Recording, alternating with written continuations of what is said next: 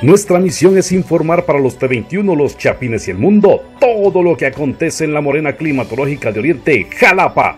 Antes de ver este video, no te olvides de suscribirte a nuestro canal y así mantenerte informado.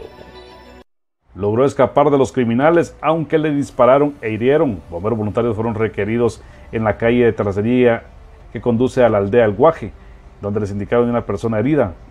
Al llegar al lugar, atendieron al señor Carlos Aníbal Maldonado Ucelo, de 32 años. Esta persona se conducía en una motocicleta cuando sujetos desconocidos le dispararon varios proyectiles de arma de fuego, impactándole uno en el abdomen y otro en el tórax. Fue estabilizado en el lugar por los técnicos en urgencias médicas de los hombres del casco negro. Posteriormente fue trasladado a la emergencia del Hospital Nacional de Jalapa para que fuera evaluado por el médico de turno. Según curiosos del lugar, al parecer se trataba de un puesto de asalto y al no detenerse donde los delincuentes le indicaron, atentaron contra su vida. No es la primera vez que se registran situaciones de esta índole en ese lugar y las autoridades no han realizado ningún operativo para atrapar a los delincuentes.